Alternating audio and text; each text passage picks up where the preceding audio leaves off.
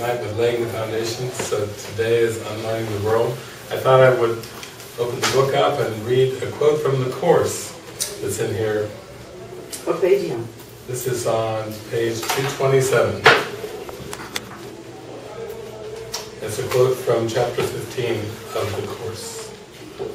Can you imagine what it means to have no cares, no worries, no anxieties, but merely to be perfectly calm and quiet all the time?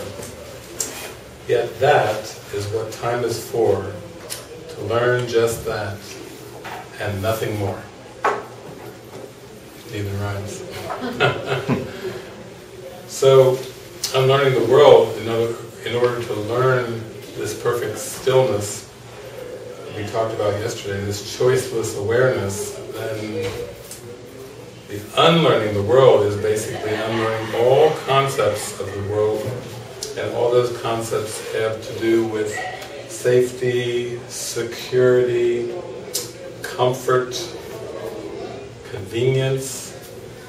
Um, you know, when you think about modern life, convenience seems to be something that, that is pretty sought after. You know, there's a lot of things and gadgets and devices that basically serve convenience. And convenience isn't, isn't of the spirit. Um, I would say ease is, divine ease. You know, there's there is a flow and that you are that flow and that you can tell when you're in divine ease because everything's so easy and effortless and joyful.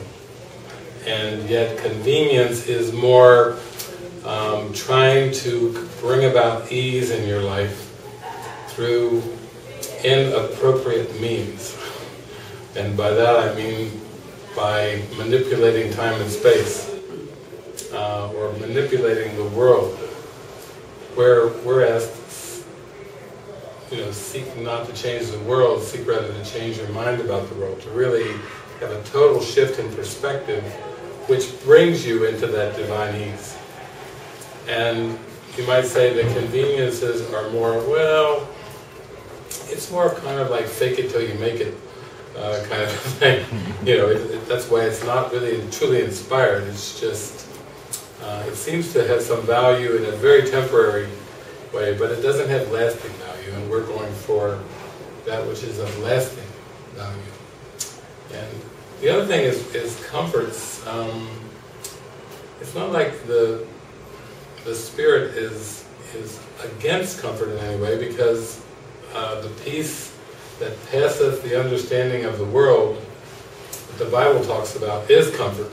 So that's comfort with a capital C. and Jesus had talked you know, to the woman at the well. Some of you remember the passage in the Bible, drink of me, and you will never thirst again. You could just say, we reinterpret that, find comfort in me, and you will never be restless again. Find comfort in me, the Christ, and you will never have discomfort again. You will find your eternal comfort. Because without that kind of context, it just seems like that's it's pretty harsh actually. Like, well, I don't think comfort is so bad, uh, but we're we have to take lift it up higher to like a divine comfort, a comfort that doesn't come and go, comfort that's consistent. And in that sense, you can start to say, well, there is something that, that could be attractive about this divine comfort. Um, it fits in with that quote that I just read about having no cares, no worries, no anxieties, but be perfect, be quiet and calm all the time. Um, so when we talk about unlearning the world, it's really a major convincing job for the Holy Spirit because the ego has made up so many pseudo-comforts and pseudo-conveniences and substitutes for the real thing that it seems to the mind that's quite addicted to these comforts and conveniences and pleasures and so forth that, that it's actually, that heaven would actually require a sacrifice of something that's pretty good. Or even we could say something that's not all bad. And certainly, if you talk to anybody who has experiences with the world, they could possibly agree with you that it's not all bad. It's not all good, they might say, but it's not all bad. And it's the not all bad part that that keeps the mind from dropping the deception like a hot potato. I mean, think of it, you would, if it was all bad, then the ego wouldn't have much of a chance of keeping you attracted to it or addicted to it. You would drop it very quickly. So that's part of the self-deception that, that makes it, that's what makes temptation so, so uh, seductive, so alluring.